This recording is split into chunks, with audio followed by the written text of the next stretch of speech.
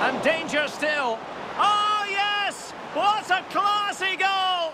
And make no mistake, there aren't many in the game who would have the confidence to even try it.